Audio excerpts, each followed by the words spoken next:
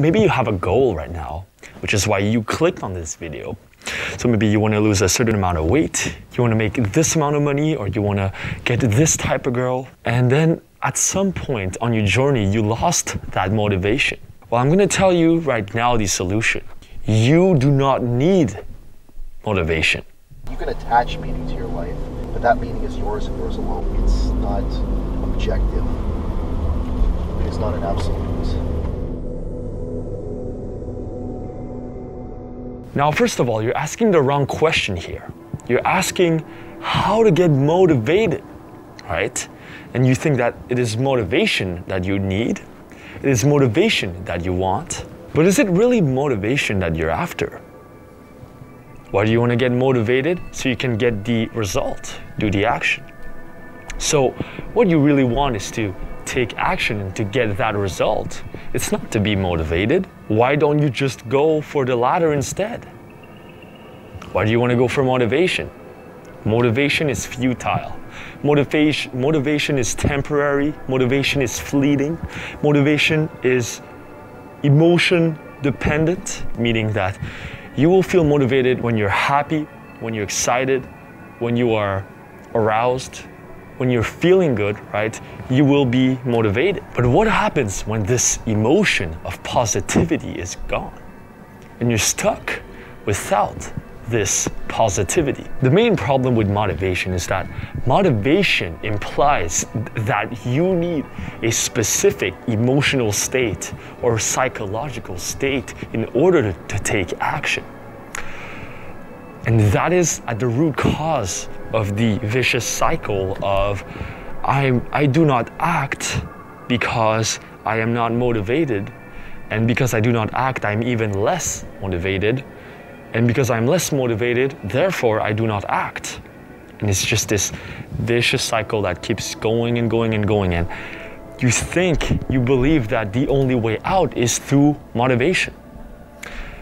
And that is just false taking action is not something that is emotion dependent.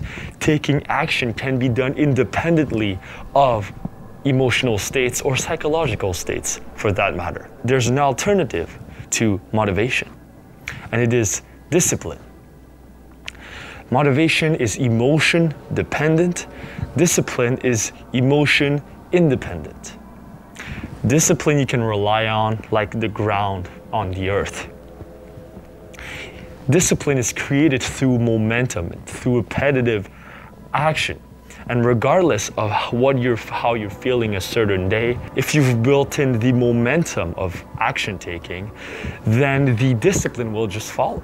The discipline can be your ground. And from the starting point of discipline, you can start taking fucking action. So there are three tips for you for the solution to taking action, right? Don't forget, the question is not how to be more motivated. The question is how do I take more action, right? Step number one, know what you want. Know, know exactly what you want. What is your life purpose? What is your goal? If you have a clear goal, then it's easier to take action towards that goal. If your goal is too vague, too all over the fucking place. Um, I'll make a video on setting goals later on, but just bear with me for now. If your goals are too vague or superfluous, you won't have a groundedness to take action towards those goals. So you need something a little more specific. So once you know what that is, write it down, pin it down, make sure it's clear. Step number two, create a schedule around it. Create a specific routine that you routinely go to. How many times per day are you going to do it? Or how many times per week are you going to do it? During the time that you do it, for how long do you do it? And then how many times in a row do you want to do it? For 30 days, 90 days, an entire year? Then once you have that, then step number three, learn to act independently of your emotions. Now, warning this is a very nuanced point. It doesn't mean to reject emotions. It doesn't mean to suppress emotions. It doesn't mean to run away from emotions.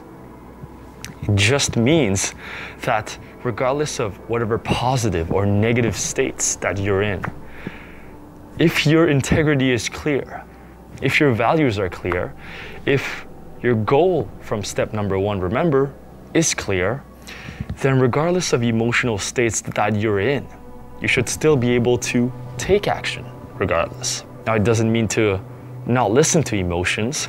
Emotions can be a great guiding compass towards knowing what you have to do, right? But once you listen to the message of emotions, uh, there's no point in listening to it any, anymore.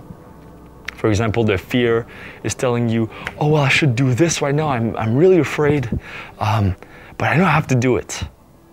So now you got the message. I know I have to do it. Now that you got the message, the, the emotion is fine. Just like let it go for now and just, just do what you have to do. And then step number four, repeat it, repeat it, repeat it, discipline, repeat it until you reach the goal that you want to reach. It's pretty simple. As kids, we had the luxury of doing things only when we felt like doing them. That's a juvenile thing to do. As adults, we can't tolerate to just be doing meaningless little tasks and only do things when we feel like it. You have to work, but you don't feel like going to work, well, you're not gonna have food tonight. Simple. As an adult, you take the responsibilities of taking action, going for it. And even if you're not an adult right now, maybe you're 16, 17 watching this, you're going towards adulthood. And if you're watching those videos, I'm assuming you are mature enough to understand this. And if you've gone that far, then you are already an adult in my eyes. You know, because you believe motivation to be the answer, you never actually act on those goals. You never pursue those goals fully because you don't believe that you can take action without motivation, while you actually can. Sometimes, you know, you just gotta brute force it. You're just gotta brute force it. And as a matter of fact, uh, I did not feel like filming this video uh, earlier today. Um, like two hours ago, I was writing the script for this video. I was just thinking like, oh, well, I don't feel like it right now. Oh, fuck. And I was writing it and it just felt like drudgery. Like I hated it, just writing through it. And then as I started writing, just, just motivation started to pour, just like motivation just started happening like, oh, wait, I actually enjoy this. This is my life calling. This is what I always wanted to do. And I was like, oh, damn, this is fucking amazing. As Shia LaBeouf would say, and I say to you, just do it. Do it. Do it.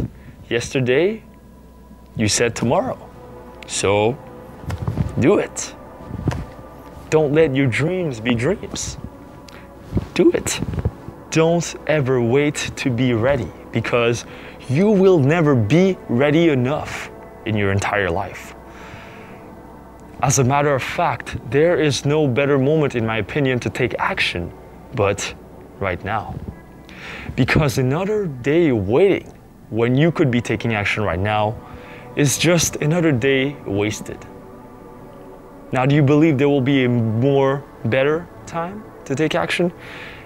A moment that will be more perfect than the present moment? There's, there will never be a perfect moment to take action.